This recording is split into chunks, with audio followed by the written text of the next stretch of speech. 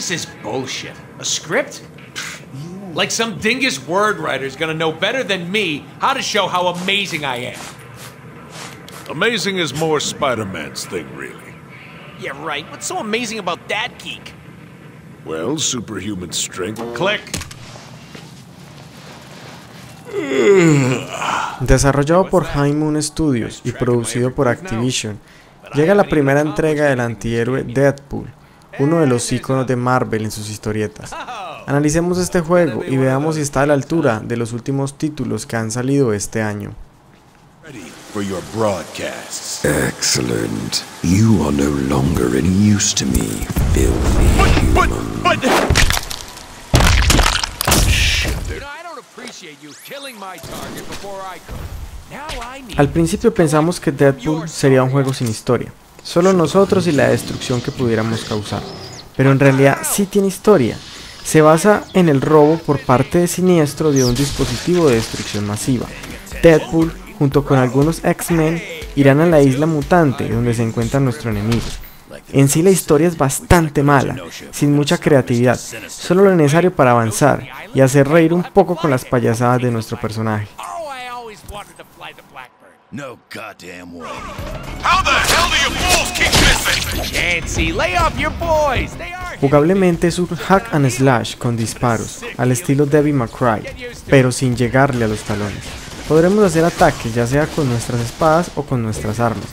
Al principio solo tendremos un par de pistolas, pero gracias a las monedas que recogeremos en el camino podremos comprar otras. Además podremos mejorar las que ya tenemos, obtener nuevos movimientos de combate, mejorar habilidades o incrementar nuestras capacidades como la salud y la resistencia.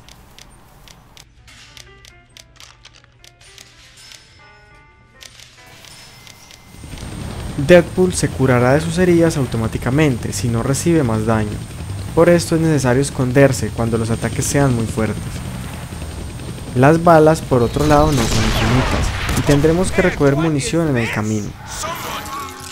En algunas ocasiones el juego se volverá de otro tipo de plataforma, siendo muy curioso las partes en 8 bits. Tenemos además un modo desafío que nos recordará los juegos de Batman. En este tendremos que sobrevivir a oleadas de enemigos para lograr la mayor puntuación. Esta se irá almacenando en línea y veremos en tiempo real quién es el mejor en cada mundo. Jugablemente Deadpool no trae nada nuevo o interesante. Es difícil encontrar una razón buena para jugarlo.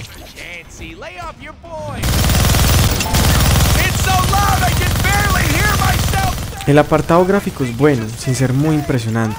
Los detalles de Deadpool son más que justos y se vuelve algo interesante cuando este es herido y se está recuperando lentamente. Los enemigos son todos iguales, a diferencia de algunos jefes finales que logran el mismo detalle de nuestro personaje.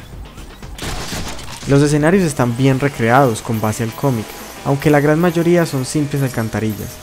Los disparos y explosiones no están bien formados y tienen falencias muy bruscas, a diferencia de las mutilaciones que sí están bien establecidas. En general las gráficas de Deadpool son inferiores a muchos de los juegos del mismo género, lo que decepciona bastante, sabiendo que estamos al borde de un cambio generacional. Lo que esperamos de estos últimos juegos es que sean tan buenos como los primeros de la nueva generación.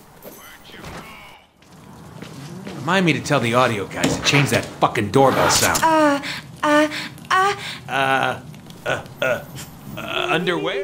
En la parte sonora es donde el juego se logra destacar, no por sus explosiones o disparos, que insistimos son muy malos, sino por las peculiaridades que nuestro personaje dirá conforme avanza la trama. La ambientación sonora es buena, pero sirve más para alertarnos si tenemos que combatir con enemigos, puesto que la música cambia cuando estamos en combates. Hay algo peculiar en el juego, y es que el propio director, Sean Miller, es la voz de nuestro personaje, y no solo esto, la mayoría de voces son del equipo de producción, lo que a veces genera que la voz no muestre la emoción del caso o los gestos no estén en paralelo con las escenas. En general el sonido es bueno, destacando las conversaciones y comentarios de Deadpool.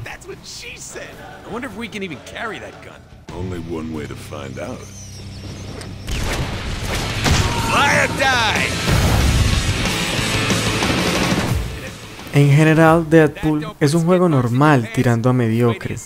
Solo las irreverencias de nuestro personaje lograrán meternos de lleno en el juego, puesto que la jugabilidad y la historia parecieran haber sido hechas solo porque sí, o para cumplir con un mínimo esfuerzo lo prometido a todos sus fans.